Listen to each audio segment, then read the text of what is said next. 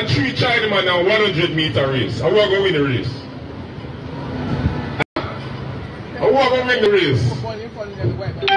Huh? Read that scripture. Book of Romans chapter 3 and verse 1. What advantage then have the Jew? Hold on. The brothers and the Jews think them better than everybody else. The Bible says what?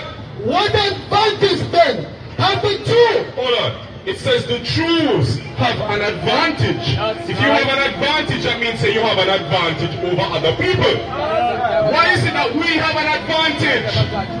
Read. Or what profit is there of circumcision? Much in every way. Meaning we are better. We're better in many ways because what? Chiefly because that unto them Unto the Jews, were we were